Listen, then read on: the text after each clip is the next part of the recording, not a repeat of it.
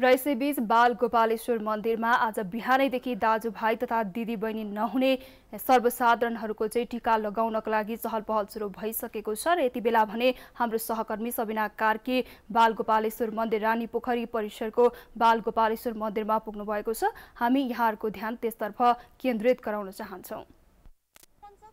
तिहारको अन्तिम दिन आज भाइटिकाको अवसरमा हामी रानी पोखरी बिचको बाल गोपालेश्वर मन्दिरमा आएका छौँ। विशेष गरी भाइटिकाको दिन मात्र भक्तजनका लागि खुला गरिने यो रानी पोखरी बिचको बाल गोपालेश्वर मन्दिरमा आज भाइटिका लगाउने क्रम जारी छ। विशेष गरी दाजुभाइ तथा दिदीबहिनी नहुनेहरूले हरेक वर्ष यही रानी पोखरीको बिचको बालगोपालेश्वर मन्दिरमा आएर भाइटिका लगाउने गर्दछन्। यहाँ यहाँहरूले देख्न सक्नुहुन्छ यो दृश्य। आज भाइटिका ग्रहण गर्नका लागि दिदीभाइ दाजुबहिनी नहुनेहरू यहाँ आउने क्रम जारी छ। भाइटिका लगाउने मात्र होइन पर्यटक साथै दर्शनार्थीहरू पनि यहाँ धमाधम आउने क्रम जारी छ। यहाँहरूले देख्न सक्नुहुन्छ यो दृश्य। विशेष गरी आफ्नो घरमा दाजुभाइ दिदीबहिनी नहुनेहरूले यही बालगोपालेश्वर मन्दिरमा आएर हरेक वर्ष भाइटिका लगाउने गर्छन्।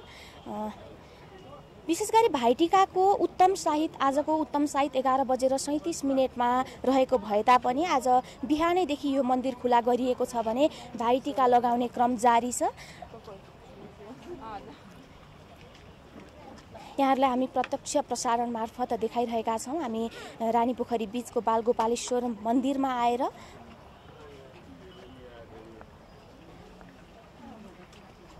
हजुर स्वागत छ यहाँलाई।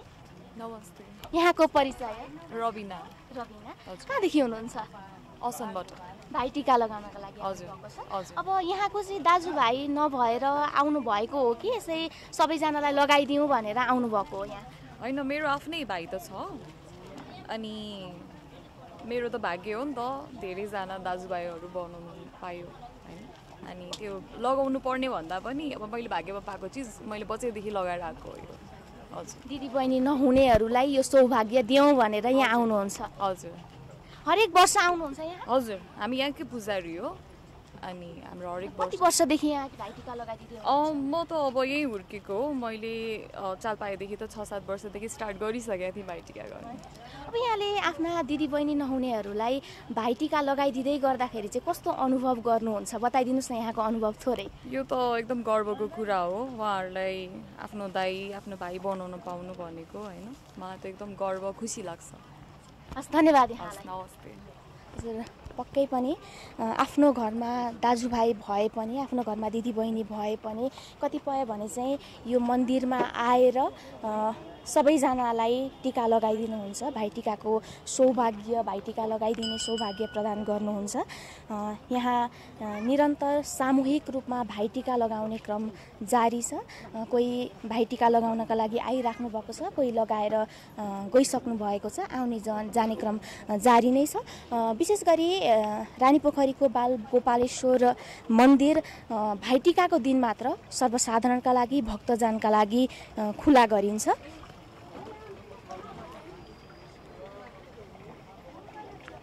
यहाँ धमाधम भाइटिका लगाउने। हजुर स्वागत छ यहाँलाई। हजुर।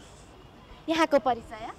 मेरो अब दिदी छैन बहिनी छैन घर त बुगमती हो अनि उहाँबाट यसो टिका लाउँ भनेर पोहोरदेखि आउनु थाल्यो आफ्नो दिदीबहिनी जन्मै नहुनु भएको कि? बितेको कति वर्षदेखि यहाँ टिका लगाउँदै आउनु भएको दुई वर्ष भयो। दुई वर्षदेखि लाउँदै आउनु भएको छैन त? मान्छे आफ्नो दिदीबहिनी नभए पनि भाइ टिका लगाउने सौभाग्य चाहिँ यहाँ आएर प्राप्त गर्नु हजुर हजुर हजुर। कस्तो लाग्छ यहाँलाई? राम्रो लाग्छ। एकदम राम्रो रमाइलो लाग्छ। दिदी छैन अब आफ्नो दिदीबहिनी नभएपछि दिदीबहिनी सम्झेर लाउने हो। मान्छे यो मन्दिरले आफ्नो दिदीबहिनीको अभाव खड्किन चाहिँ दिँदैन। दिदीबहिनी बिर्सिन्छ। धन्यवाद यहाँलाई।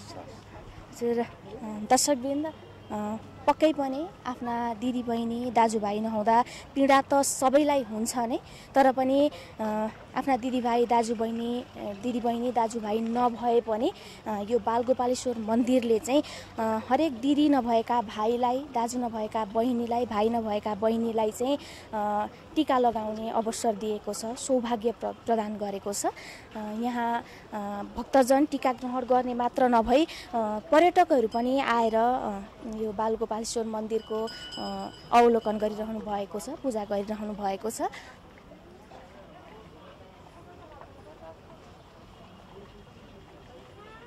काठमाडौँ महानगरपालिकाले आज यो मन्दिर खुला गरेसँगै सुरक्षा व्यवस्था पनि कडा पारेको छ।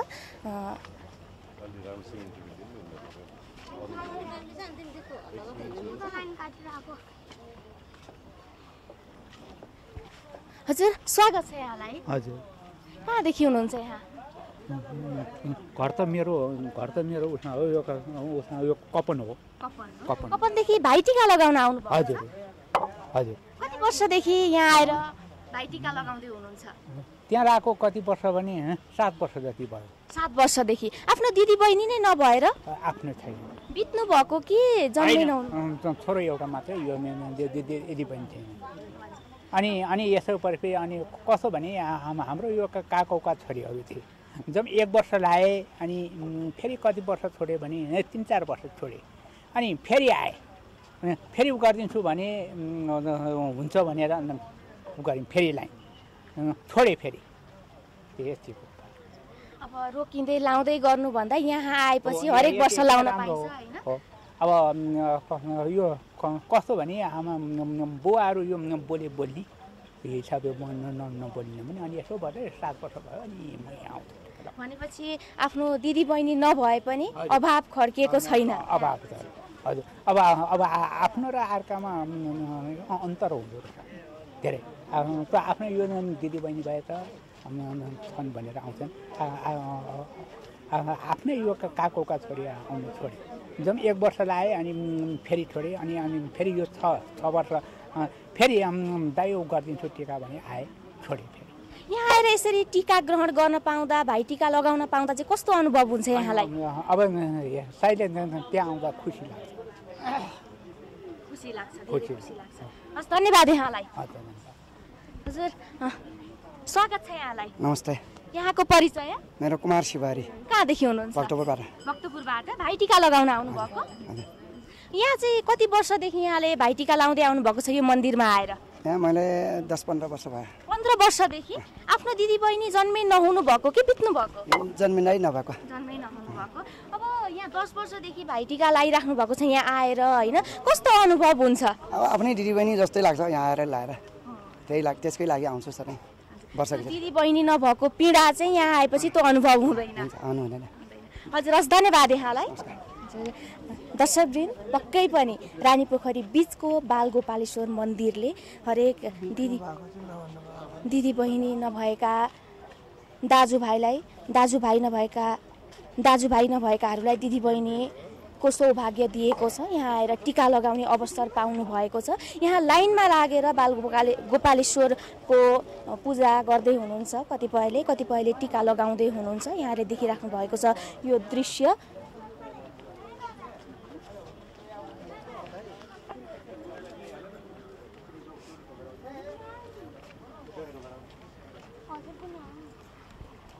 हजुर स्वागत छ यहाँलाई। हजुर नमस्ते हजुर। यहाँको परिचय? श्रीकृष्ण श्रेष्ठ। कहाँदेखि हुनुहुन्छ? भक्तपुर। भक्तपुरदेखि यहाँ भाइटिका लगाउन आउनुभएको छ। घुम्न आएको मन्दिरमा। मन्दिर अब वर्षमा एकचोटि खुल्छ त्यही भएर दर्शन गर्न आउनु हजुर। के लाग्छ यहाँ खासमा यो बालगोपालेश्वर मन्दिरको विशेष महत्त्व चाहिँ के छ जस्तो लाग्छ यहाँलाई? त्यही दिदीबहिनी नहुनेहरूको लागि भाइटिका गर्नलाई भनेर राखिएको होला हजुर। पनि यहाँ वर्षमा एक दिन खुल्ने भएकाले यहाँहरू पूजा गर्न आउनुभयो हजुर देउताहरू हुनु मन्दिर हुनु। हस्, धन्यवाद यहाँलाई। हामी यहाँलाई प्रत्यक्ष प्रसारण मार्फत बालगोपालेश्वर मन्दिरको दृश्य देखाइरहेका छौँ। यहाँ कुराकानी पनि हामी आएका सर्वसाधारणहरूसँग भक्तजनहरूसँग कुराकानी पनि गरिरहेका छौँ।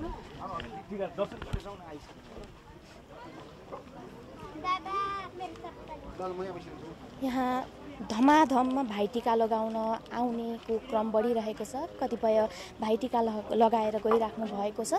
भाइटिका लगाउने उत्तम सायद एघार बजेर सैँतिस मिनटमा भए तापनि यहाँ चाहिँ बिहानैदेखि भाइटिका लगाउने काम भइरहेको छ। यहाँ देख्नुहुन्छ यहाँले यो दृश्य। प्रहरी पनि आएर यहाँ सुरक्षाकर्मीहरू पनि आएर भाइटिका लगाइराख्नु भएको छ।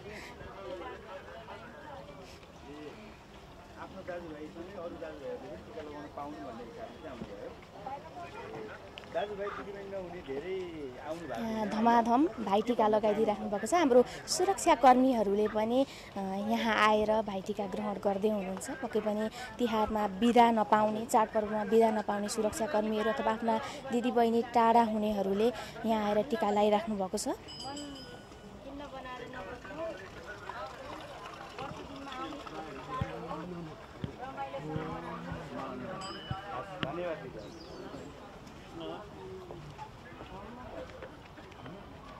स्वागत छ यहाँलाई सर। यहाँको परिचय मेरो प्रसह सुनिल कुमार चौधरी। अब यहाँले बालगोपालेश्वर मन्दिरमा आएर भाइटिका ग्रहण गर्नुभयो होइन? अब बिदा नपाएर अथवा आफ्ना दिदीबहिनी नभएर के कारणले यहाँ आउनुभएको? होइन बिदा साथीहरू गइराख्नु भएको छ मिलाएर सबैजना जाने हो हामी। त्यही भएर गर्दाखेरि अब छठमा चाहिँ हामी जाने। छठमा जाने। आफ्नो दिदीबहिनी हुँदा हुँदै पनि लाउन नपाउनु भएको। हजुर। हजुरको घर चाहिँ कहाँ हो? मेरो सरलाई सरलाई यहाँ चाहिँ हरेक वर्ष अब बिदा नहुँदा आउनुहुन्छ कि यस वर्ष मात्रै हो? म यस वर्ष मात्र हो। यस वर्ष? कस्तो अनुभव भयो त?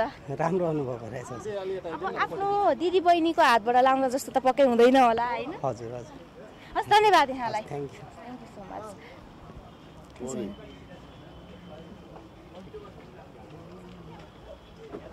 यहाँ सुरक्षाकर्मीहरू पनि आएर भाइटिका लगाइराख्नु भएको छ टाढा। स्टेटहरू पनि खुलाउन लगाउनु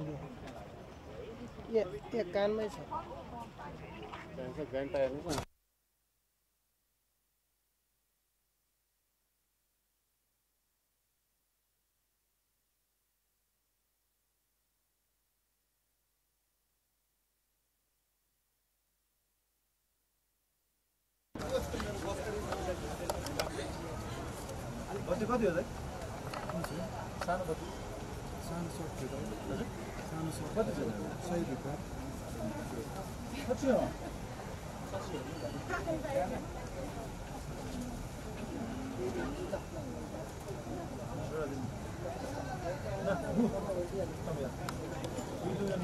ए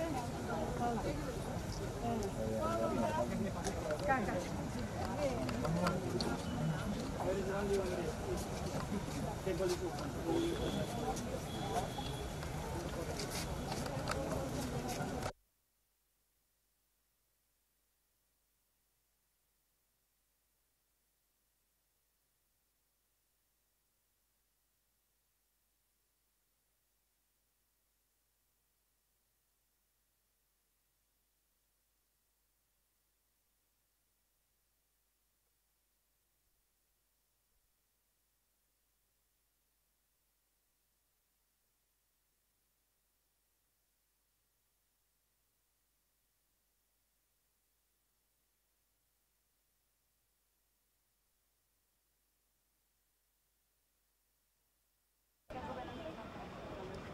भाइटिकाको दिन मात्रै खुल्ला हुने यो बालगोपालेश्वर मन्दिरमा निरन्तर रूपमा भक्तजनहरू दर्शनार्थीहरू भाइटिका लगाउनेहरू आइराख्नु भएको छ। यहाँ निरन्तर आउने क्रम जारी छ। भाइटिका लगाउने क्रम जारी छ। आफ्ना दाजुभाइ नभएका दिदीबहिनीहरूले दिदीबहिनी नभएका दाजुभाइहरू यहाँ आएर टिका लगाउने टिका ग्रहण गर्ने चलन छ। विशेष गरी भाइटिकामा भाइटिका भनेको नै दाजुभाइ दिदीबहिनीहरूको प्रगाढ सम्बन्धलाई भाइ भाइटिकाले प्रतिनिधित्व गर्छ। तिहार पर्वको विशेष दिन हो आज भाइटिका। भाइटिकामा टिका लगाएर मिठा मिठा खानेकुरा खान दिएर प्रगति र दीर्घायुको कामना गरिन्छ। टाढा टाढा भएका दाजुभाइ दिदीबहिनीहरू पनि भेट्ने जमघट हुने दिनलाई लिइन्छ भाइटिका त्यस्तै यो रानी पोखरी विशेष गरी बालगोपालेश्वर मन्दिरको विशेष महत्त्व रहेको छ विशेष इतिहास रहेको छ। प्रताप मल्लका छोरा चक्रवर्तेन्द्र मल्लको निधनपछि रानीको चित्त बुझाउन विक्रम सम्मत सत्र सय सत्ताइसमा रानी पोखरीको निर्माण गराएको शिलालेखमा उल्लेख गरिएको छ। पोखरीको बिचमा उही बेलामा प्रताप मल्लले बालगोपालेश्वर मन्दिरको स्थापना गराएका थिए।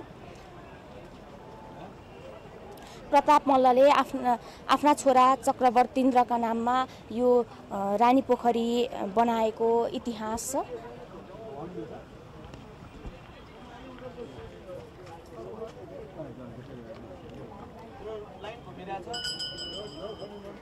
त्यस्तै यो रानी पोखरीको उत्तर पश्चिम कुनामा चाहिँ शक्तिसहितको भैरवको मन्दिर रहेको छ। उत्तर पूर्वको कुनामा भैरवको मन्दिर रहेको छ। त्यस्तै दक्षिण पूर्व कुनामा देवीको मन्दिर र दक्षिण पश्चिममा सोह्र हाते गणेश स्थापना गरेको छ गरिएको छ।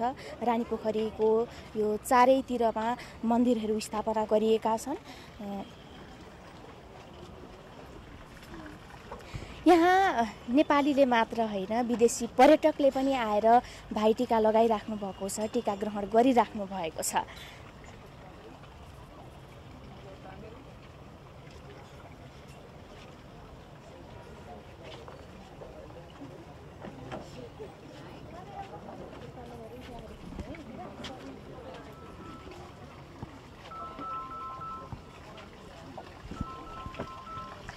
स्वागत छ यहाँलाई। धन्यवाद। हजुरको परिचय?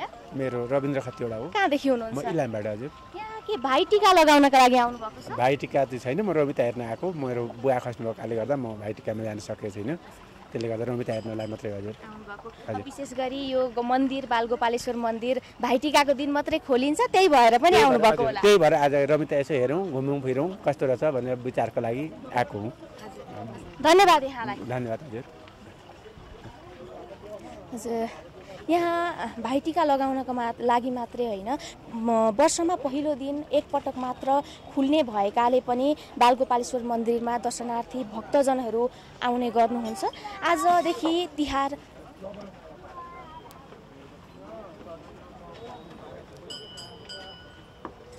आज यमपञ्चक यमपञ्चक अर्थात् तिहारको अन्तिम दिन भाइटिकासँगै तिहार सकिँदैछ। हामीले रानी पोखरी बिचको बालगोपालेश्वर मन्दिरमा आएर आएर यहाँहरूलाई भाइटिकाको महत्त्व दाजुभाइ दिदीबहिनी नहुनेहरूले कसरी भाइटिका ग्रहण गर्नुभएको छ यो मन्दिरको इतिहासको बारेमा यहाँहरूलाई जानकारी गरायौँ। आज भाइटिकाको दिन विभिन्न ठाउँमा गएर यहाँहरूलाई निरन्तर रूपमा आजको दिनको बारेमा अवस्थाको बारेमा जानकारी गराइरहनेछौँ। यति बेला भने हामी यो प्रत्यक्ष प्रसारणबाट बिदा हुन चाहन्छौँ। हेर्दै गर्नुहोला प्राइम एसडी। नमस्कार।